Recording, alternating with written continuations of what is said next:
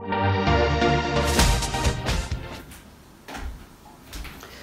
Friends मेरा नाम है सागर और आपका मैं स्वागत करता हूँ लेक्चर नंबर थर्टीन में। यहाँ पे हम लोग देखने वाले हैं कि पॉजिटिव प्रोनाउंस कौन कौन से इंग्लिश में।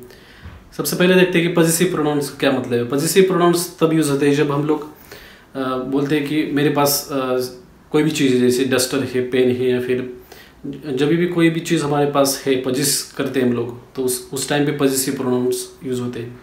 तो यहाँ पे मैंने एक चार्ट निकाला है टेबल ड्रॉ किया है। यहाँ पे आप लोग देख सकते हैं कि फिर से हम लोग first person second person third person में कैटेगरी किया है उसका और सिंगुलर प्लूरल में डिवाइड किया है।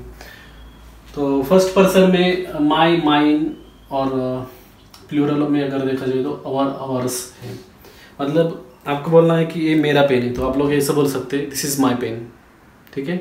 और दूसरी तरह से आप लोगों को बोलना है तो ऐसा बोल सकते हैं दिस पेन इज़ माइन दूसरे अगर सिंटैक्स में अगर लिखना है तो दिस पेन इज़ माइन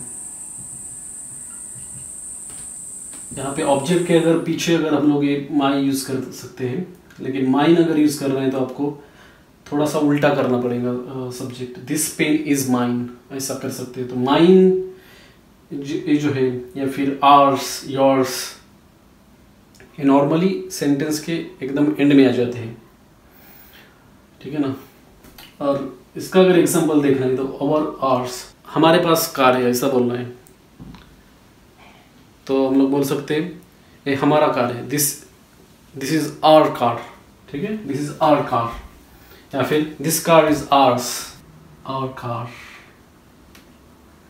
या फिर दिस कार इज़ आर्स ये कार हमारी है। उसके बाद योर योर्स योर योर से बहुत सेम है सेकेंड पर्सन में। ऐसे बोलना है कि ये डस्टर तुम्हारा है।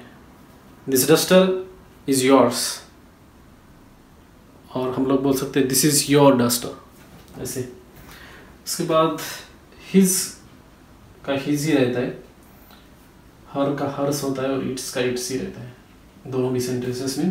जैसे अगर आपको बोलना है कि ए, आ, उसका डस्टर है।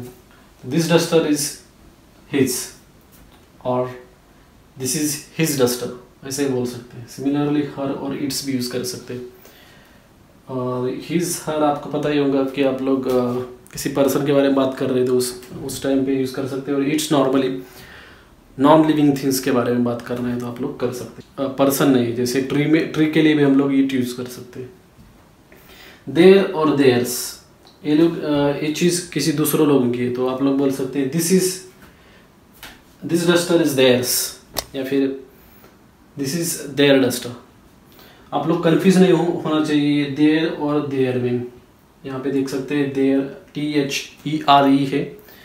इसका मतलब है, वहाँ पे बिल्डिंग एग्जिस्ट करती है। देर इज़ ए बिल्डिंग उस टाइम पे हम लोग एक देयर यूज़ कर सकते दिस देयर इज़ डिफरेंट और दिस देयर इज़ डिफरेंट यहाँ पे हम लोग किसी लोगों के बारे में बात कर रहे हैं यहाँ पे एक सब्जेक्ट है, जैसे कि कोई एग्जिस्ट करता है उस टाइम पे आप लोग दे यूज़ कर सकते तो यही था पॉजिटिव प्रोनाउंस अगर आपके कुछ क्वेश्चन है तो नीचे कमेंट बॉक्स में डाल दीजिए और अगर चैनल को सब्सक्राइब नहीं किया तो जल्दी से जल्दी कर दीजिए। और अगर वीडियो अच्छा लगेगा तो लाइक और शेयर भी कर दीजिए।